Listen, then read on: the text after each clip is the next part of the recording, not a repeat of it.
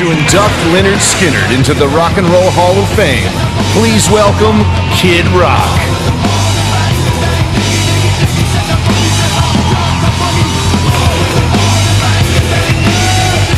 Oh yeah. Oh. Between the uh, between the uh, sun going down last night and the sun coming up, we jotted down a couple notes here. Um, let me just say that Lynyrd Skynyrd, I mean, simply is the shit. Period. To me, um, the Ronnie Van Zant. I mean, Ronnie Van Zant was the truth. To me, he was a true Southern poet. I mean, really was. Um, he was the simple man that he sang about. When you really get into those lyrics and you start to talk about him, and I always say that Lynyrd Skynyrd is really, um, it's kind of Ronnie Van Zant's house to me, but man, it was built by a lot of hands, a whole lot of hands, great hands. Um, talking about the west side of Jacksonville, Florida, you know. Uh, not, not, not, not rich people, not any money, you know, the wrong side of town. And uh, to me, Lynyrd Skynyrd, these guys were like uh, kind of what a lot of the, the guys in, in Britain and other places that, that absorbed this rock and roll blues music so well wanted to be. They wanted to be poor white boys from the South that knew how to pick and play like that. And these guys are the epitome of it to me.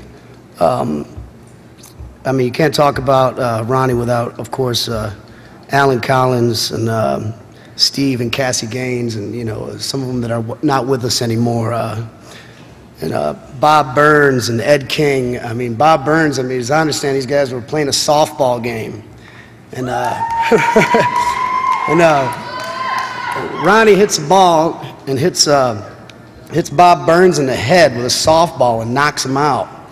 And somehow him, Gary Rossington, and them get together and go, "Hey man, we should start a band." what the fuck is that? That's great. Um, also, of course, the great Leon Wilkeson, who was a very dear friend of mine. Just the Mad Hatter. The Mad Hatter. And um, to go back to Ronnie, I think one of the most amazing things that I've learned about him is that he never wrote his lyrics down. And when you listen to these lyrics and the songs that, that he penned from Curtis Loew to Tuesday's Gone, Ooh That Smell, Give Me Back My Bullets, Saturday Night Special, The Needle in the Spoon, What's Your Name, of course, the uh, national anthem of the South, Freebird. And you imagine a man that never wrote these lyrics down? I mean, that's, that's pretty incredible to me. And of course, Sweet Home Alabama. I mean, to me, that is probably the greatest song ever written. I mean, pound for pound, that song, Sweet Home Alabama, that lick Ed King wrote. Uh, I mean, um, I went to uh, Iraq a couple years ago to play for our troops, and we were kind of in front of a, about 5,000 kids at Saddam International Airport in a hangar there. And we didn't really have a band together. There was a military band on stage. You know, these kids are kind of like, hey, man, get up and play for us. Get up and play. So we kind of grabbed, there were some musicians and other people together. We kind of put together a makeshift band last second. I looked out at those kids and I'm like, what do they want to hear? First thing I did, bum bum bum bum bum bum, and they went nuts. And I mean, that kind of sums it up for me right there. Um,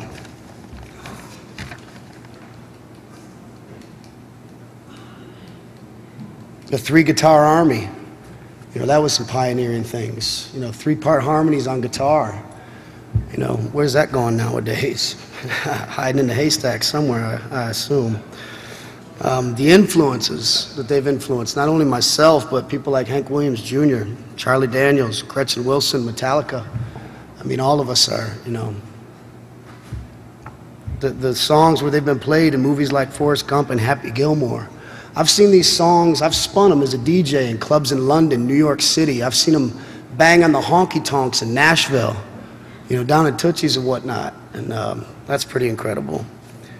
Uh, and, the, and the way the tradition is carried on today with uh, his younger brother Johnny, who's out there singing those songs every night now. I mean, that's pretty incredible to me because the hardest thing to do, I would imagine, in life is to stand in the shadows of somebody very famous to try and fill those shoes. And I think he's done it with class and dignity. And I'm sure his brother would be very happy that they're carrying on that way nowadays.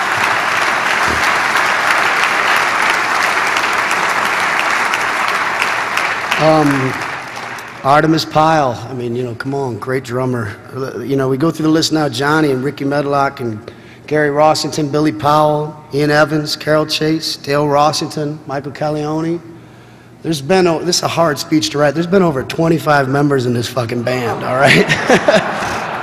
they have more members than the frickin' YMCA, you know what I mean? but um, I love it to death. I live by it. And I think, uh, you know, one of Ronnie's greatest lyrics was, If I leave here tomorrow, would you still remember me? And we do remember Ronnie. And we do remember Allen Collins, Steve and Cassie Gaines, and Dean Kilpatrick. And, you know, the, the, history's out there if you want to learn about it, and I would, I, would, I would encourage everyone to dig into that. But more importantly, I think we're here to celebrate the music and the families, and what a wonderful, wonderful sight it was to walk in the other day.